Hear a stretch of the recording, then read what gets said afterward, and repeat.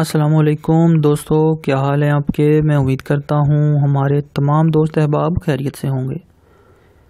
तो प्यारे दोस्तों, चलते हैं आज के रिश्ते की तरफ़। इससे पहले हमारी छोटी सी गुजारिश है, हमारे चैनल को सब्सक्राइब कर दें और बेल के आइकॉन को भी दबा दें, ताकि हमारी आने वाली हर नई से नई वीडियो आप तक आसानी से पहुँच जाए।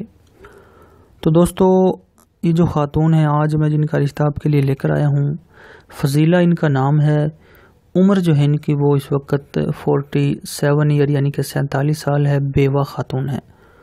फजीला जो है एक बेवा खातून है। दो बेटियाँ हैं, दोनों की शादी कर चुकी हैं।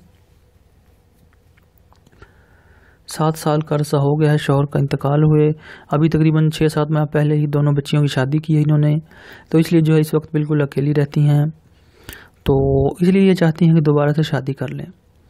मुसलमान फैमिली से हैं, अच्छे घराने से हैं, काफ़ी जो है अच्छे लोग हैं, पढ़ी लिखी हैं, ये इनकी तालीम मैट्रिक है। इस वक्त लाहौर सिटी में रहती हैं। इनकी जो कास्ट है, ये जट बरदरी से हैं। फ़िरका जो है, इनका वो सुन्नी है।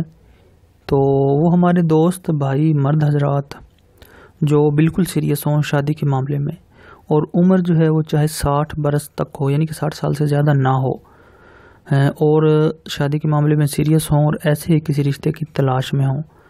तो आप जो है अपनी तमाम तर तफसीलात के साथ अपना व्हाट्सएप का नंबर वीडियो के नीचे कमेंट बॉक्स में लिख दें। बर मेहरबानी अपने व्हाट्सएप का नंबर, अपने शहर का नाम और अपनी उम्र, ये तीन चीज़ें लाजमी लिखा करें। तो हम आपसे रबता कर लेंगे। अगर आपके नसीब में हुआ तो ये रिश्ता ज़रूर आपके लिए खुशियाँ लाएगा। इसी के साथ हमें इजाज़त दें।